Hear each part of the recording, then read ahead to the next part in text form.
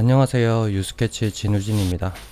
오늘은 backdrop 페인팅이랑 레진 아트를 섞어서 해볼 생각인데 backdrop 페인팅으로 저는 핸디코트를 많이 쓰니까 핸디코트를 이번에도 썼어요.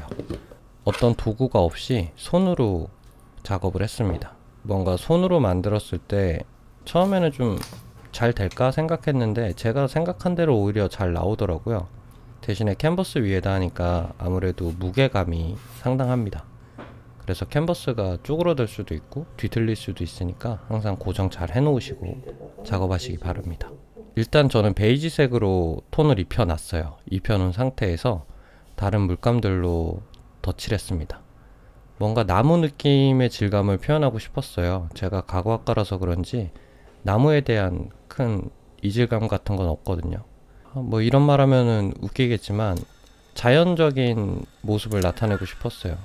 제가 차마 뭐 오가닉이다 퓨어다 이런 소리 못 하겠고 뭔가 이 자연적인 느낌에서 오는 나무의 그 뭐 썩은 부분들도 있을 거고 뭐 이끼가 낀 부분들도 있을 거잖아요 나무가.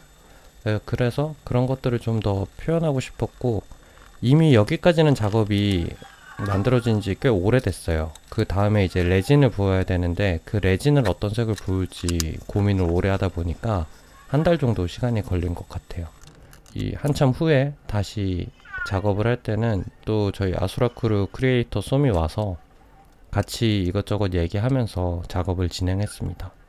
나름 지루할 수도 있는 작업이었는데 재밌게 해서 좋았던 시간입니다. 왔어. 그 작업 못하는 애들이나 흰 티에다 묻히고 하는 거지. 하나라도 한 방울이라도 튀기면 해봐. 아 절대 안 튀지. 이렇게 하지.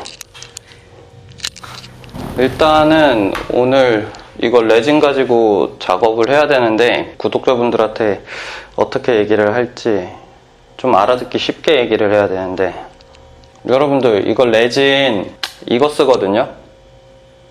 그러니까 경화 속도가 완전히 빠른 타입은 아니고 하루에서 이틀 정도 뭐 더 두꺼우면 더 오래 걸리겠지만 이걸 써서 오늘 할 겁니다. 레진 색을 뭐로 할지 정해야 돼. 레진 색.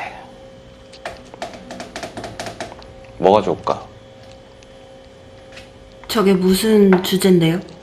저게 나무 나이테랑 나무 모습을 좀 나타냈는데 거기에 지금 레진을 초록색으로 넣을지 파란색으로 넣을지 계속 고민했거든.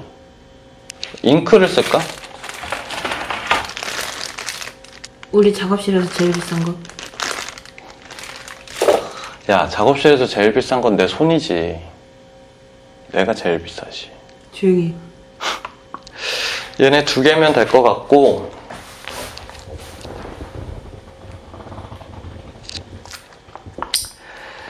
아, 자, 이제 구독자분들이 좀 편하게 볼 수 있게 고정해놓고 영상을 촬영해 봅시다. 자, 오늘 준비물은 이게 답니다. 이 레진 비율은 3대1입니다. 3대1이라서 이 계량기에다가 정확하게 맞춰서 하지 않으면 굳는 작업에서 잘 굳질 않아요. 그래서 제대로 굳혀서 작업을 해야 되니까 비율을 정확하게 맞추겠습니다. 3대 1 90에 30을 해서 120을 맞추겠습니다. 아크릴 파스텔 blue 조금 넣어줄게요. 그건 그러면서 안 재요? 네, 이건 귀찮으니까 젤 필요 없어요. 당당하시네. 자, 이제 이 친구를 섞어주면 됩니다. 충분히 섞이려면 시간이 오래 걸리거든요. 그러니까 최대한 천천히 오랫동안 저어주세요. 제일 싫어하는 작업하고 계시네요? 맞아. 자, 얘를 슬슬 부어보겠습니다. 또르르.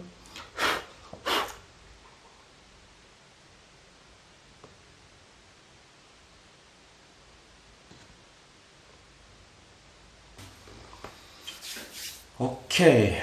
얘는 끝. 뭐 더 없어요? 이게 끝. 이게 레진이 굳어보면 또 느낌이 확 달라서 이게 끝인데 한 달을 망치했다고? 애한테 미안하지도 않아요? 아니 나 이거 한 달 동안 엄청 고민해서 지금 색 정한 겁니다 제가 색 정할 때는 대충 정하는 것 같이 보였지만 절대 대충 정한 게 아니에요. 이 몇 개월 동안에 제가 이 고민 끝에 지금 만든 작품인데 씨. 자 이제 여기에서 제일 중요한 건 여름에 날파리가 이 안에 빠지지 않는 게 가장 중요해. 그게 가장 큰 포인트야